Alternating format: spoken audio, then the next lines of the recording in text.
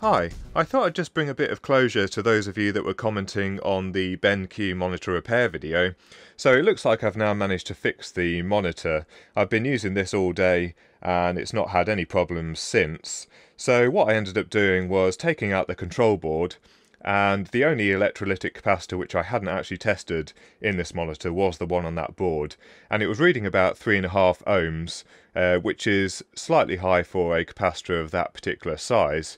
So I replaced that with a Panasonic FC and then it stopped glitching. Um, you were able to turn it on and off fine and it stopped doing the automatic adjust. Uh, but the only thing was that the DVI interface still wasn't working.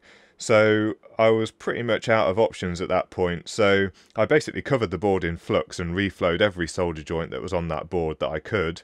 And after cleaning it with some flux clean, uh, it powered up fine and now the DVI interface is working. So it's connected through DVI now and it's absolutely fine.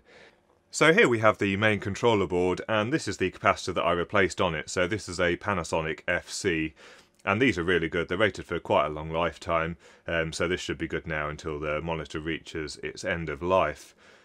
Uh, the DVI interface, I was slightly suspicious of the EEPROM, which is connected uh, more or less directly to some of the pins on here, um, because that would stop the monitor being detected by the PC.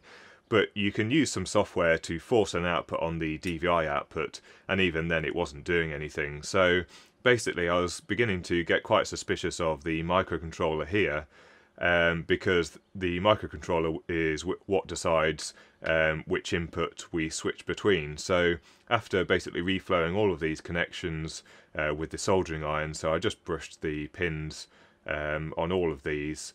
Um, after doing that, um, it powered up fine and now we're able to use the DVI interface. So I'm quite glad that we haven't had to throw the monitor out and it turned out that it was a relatively straightforward fix although slightly obscure and I'm still um, intrigued exactly what the problem was but I'm guessing uh, there was just a poor solder joint somewhere in this microcontroller section. So I hope that brings a bit of closure to some of you guys and a big thanks for the comments that you all posted in the previous video. Um, so thanks for watching.